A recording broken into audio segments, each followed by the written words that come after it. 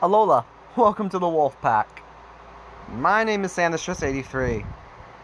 Welcome to uh, another weird game. Here's what's this one called again? Hold on, let me figure this out. Oh, it's called Mystery of the Murder's Dream. Hold on, I'm gonna turn down the volume because it's annoying. That's better. Feels like so strange to be back.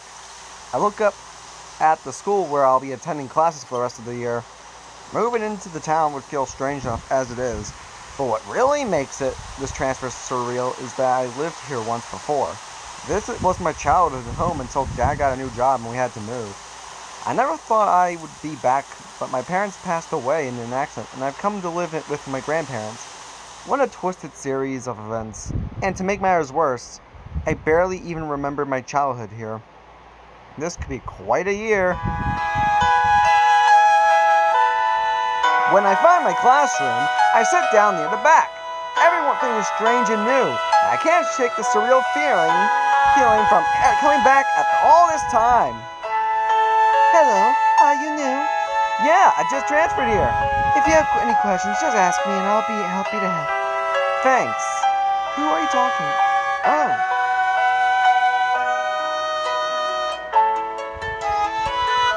Second girl draws back when she sees me.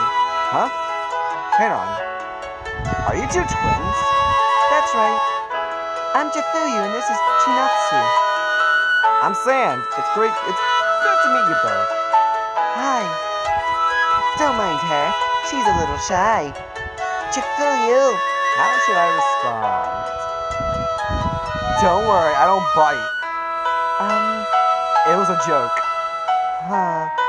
Then does that mean you do bite? What? No. I see my attempt to lighten up the mood has been a complete disaster. Just never mind. it might be fun to have you around. Ha, thanks. Is something wrong? When you smile, it doesn't quite reach your eyes. Are you sad because you had to leave your old school? Well,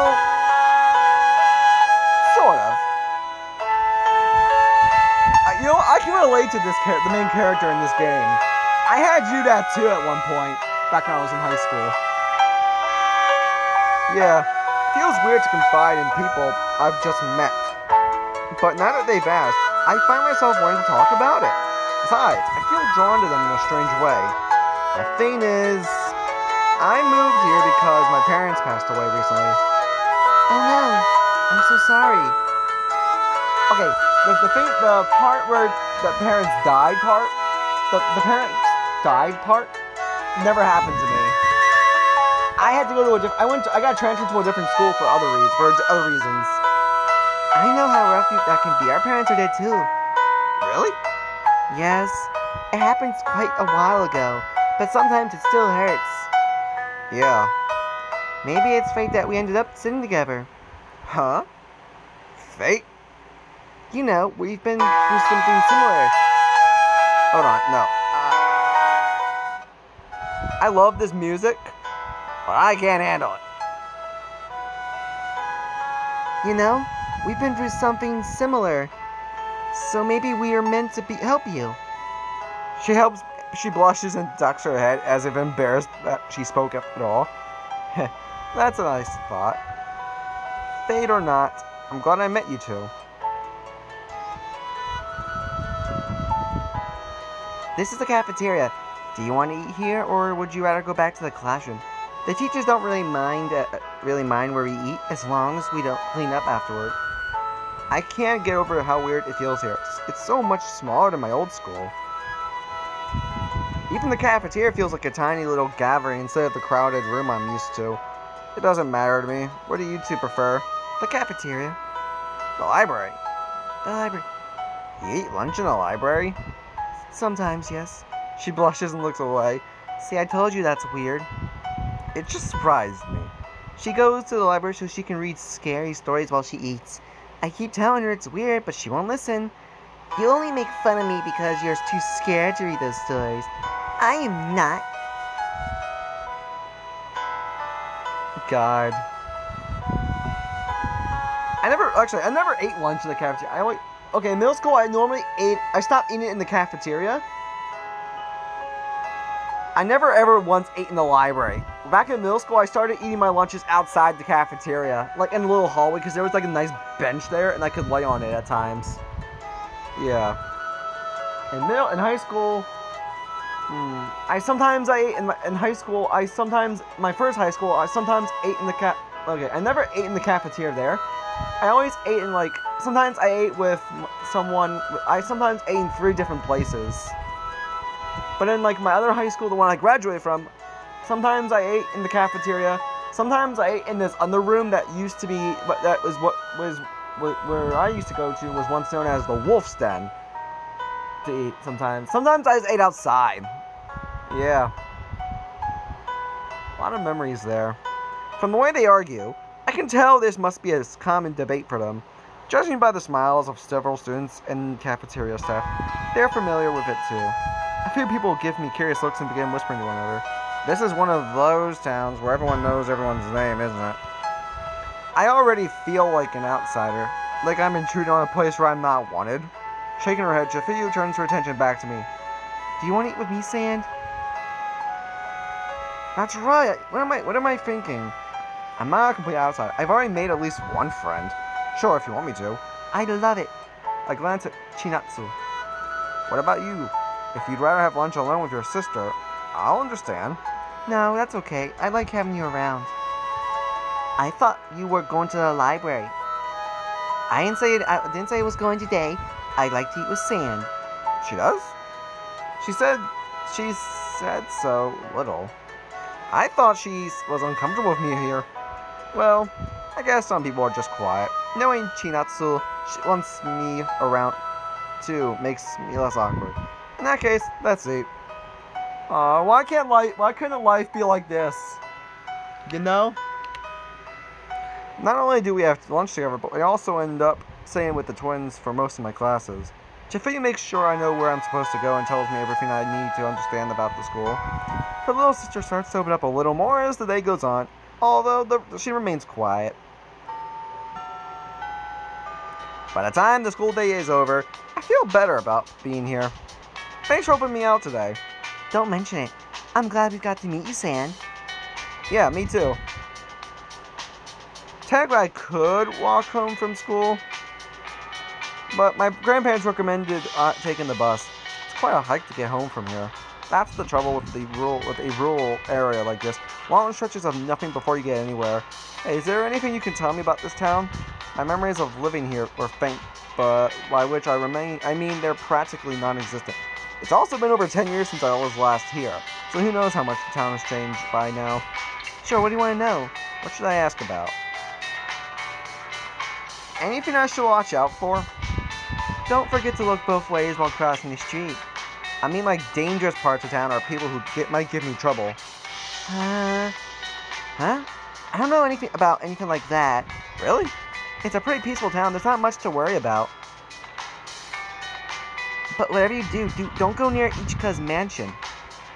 Chinatsu, you said you wouldn't talk about that anymore. Ich Ichika's mansion? What's that? In contrast of how, to how quiet and withdrawn she was for most of the days of the day, now Chinatsu leans forward towards me with excitement shining in her eyes. Ichika's mansion is a big mansion on the edge of town, far from the road. It's a dark, terrible place, and if you dare set foot inside, You'll be cursed. Cursed? That's right, they say. Chinatsu. Come on. Ah, okay. You and your spooky stories. She doesn't like it when I talk about things like that. I can tell. Well, this is unexpected. Usually I find the two of you waiting alone. At the end of the day, I didn't think. The newcomer trails off when she sees me. She stares, she stares at me with her eyes wide. Um, hi? Why is she staring at me like that? gives me the creeps. Is it really you, Sand? Why'd you come back here? How should I respond?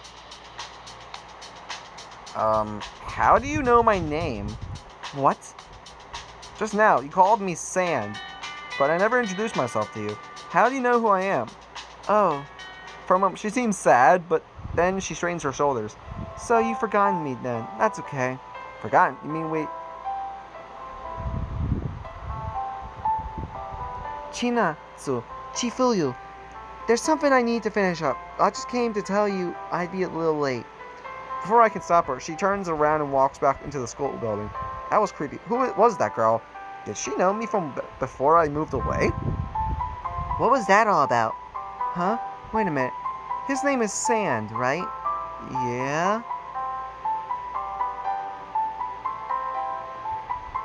Chinatsu leans close to her sister and whispers something in her ear. Chifuyu stares at me, then whispers something back. What are they talking about? I frown at the two of them and try to figure this out. Now that I think about it, there's something faintly familiar about the twins. I must have met them when we were children. Hey, can I... Before I can ask them about it, I ask, I spot the bus I'm supposed to take home. Aw, oh, man, I need to get going. I'll see you two tomorrow. Have a good day, Sand. Stay away from Ichika's. Ow! China Chinatsu's rub... Chinatsu rubs her side where her Chifuyu just elbowed her. Then she resumes waving to me as the bus I run towards my bus. Interesting. I find an empty seat on the bus and sit down. No one takes my, the seat next to me, so I stretch up. Soon the bus is driving down the street. This has been a really rough period of time for me, but talking to Chinatsu and Chifuyu helped me helped cheer me up. I feel like we can become good friends. Maybe things are going to be okay after all. I'm curious about that other girl, though, too. How does she know me? I must have met the twins before I moved. But they didn't seem to recognize me at first. That third girl, though, she acted like I should know who she is. Maybe tomorrow I can ask Chifuyu about her. With no one to talk to, I look out the window as we drive away from the school. Before long, we live we leave the edge of the town, more populated area, and drive past vast fields and farms on the, our way to the outskirts. In the distance, a tall mansion looms over the town from atop a steep hill. Hey, that must be what Ch Ch Chinatsu was talking about. What did she call it again? Ichika's mansion? Chinatsu really wanted to, to tell me about the cursed mansion.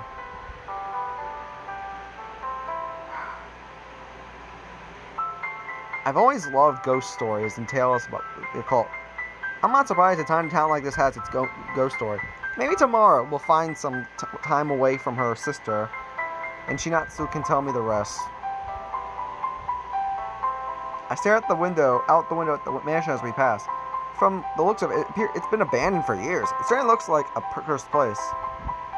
No wonder there are ghost stories about it. I yawn and lean back in the seat. My grandparents live in a remote spot on the other side of town. It'll still be a while before we get there. It was a long day. I close my eyes and soon drift into sleep. Ah! I jerk away. What? Blinking before I give... Before blinking, I give a shake. Something startled me from my sleep, but I'm not sure what. I can't believe it. I fell asleep on the bus home. I hope I didn't miss my stop. I look around and freeze. What in the world? The students who were on the bus with me when I fell asleep are gone now. Instead, there are five passengers, each staring straight ahead. They are they as, all as pale as, cor as corpses, their eyes nearly as vacant. Each one of, has a piece of paper pinned to their chest, like a name tag or label. Confused, I read each of the labels on the five passengers. Skewered, suffocated, roasted, frozen, and disintegrated. Huh? Next stop, Skewered. Hey, next stop, but Skewered isn't a location. Hey, does anyone know what's going on? The other passengers ignore me. They continue to stray or, you know, stare straight ahead. I look out a window. Instead of the grassy fields, I saw before falling asleep, or the wide roads of town. We're now driving through what looks like some sort of dark tunnel. What's going on? Did I miss my stop? Where are we? None of this makes any sense. Could this be a dream? The bus lurches to a stop. Nobody moves. Are we waiting for more passengers? My skin crawls. I'm tempted to jump out and run out of here, even though I don't know where I am. At least if I get off this creepy bus, I might be able to find my way back home on foot. What should I do? I'm leaving. I don't care. I'm leaving. This bus is giving me creepy vibes. That's it. I'm getting out of here. I've got a bad feeling about this bus. Something isn't right. If I stay here, who knows where I'll end up. I jump to my feet. Or at least I try. What? No matter how hard I try, I can't move. I'm frozen in place as though some unseen force is holding me in my seat. Oh no no no. If I had a bad feeling about this about this before, it's nothing compared to how I feel now. This isn't good. I'm stuck here. I'm trapped. The bus door slides open. Wait, what? What the fuck is that thing? A single passenger gets on board. A human-sized rabbit carrying a large scythe, like the sort an executioner would have used in medieval times. Okay, that's it. I'm dreaming. The realization is that is must that this must be a dream doesn't eat my growing tens tension. If I if it's a dream, I want to wake up. I'm probably missing my stop right now. I'm pinching my arm, but the jolt of pain doesn't do anything except make me, make me wince. While I try desperately to wake up myself up, the rabbit stalks toward down the hall. It stops in front of the person, the passenger whose label reads Skewered. For the first time, I realize he's a boy around my own age. Cold dread seizes me as I watch. No. Oh my! In one swift movement, the rabbit thrusts the scythe into the boy's stomach. The boy lets out a choked gasp and coughs up blood. The rabbit continues scythe to drive the scythe down forward before lifting him into the air to show he's been completely impaled. Almost carelessly, the creature throws the boy's body into the aisle. No. No! Get me out of here! I look around in desperation for a way to escape. Maybe this is a dream. Man, I have nothing to worry about. But what if it isn't? After all, I can't wake up. I pinch myself again with no luck. The rabbit steps back into the aisle and turns toward the door. Thank God it's leaving. Then it pauses. It turns around. It looks straight at me. What do you want? Who are you? My the voice my voice sounds tiny and frightens the, to my own ears. The rabbit and I stare across the bus at each other. Then to my work, it hefts its life against again begins walking toward me. What is it? Is this just a nightmare? But then, why can't I wake up? Am I going to die here? No. Well, that's it for this video. Thank you all so much for watching. See you all next time. Bye, guys.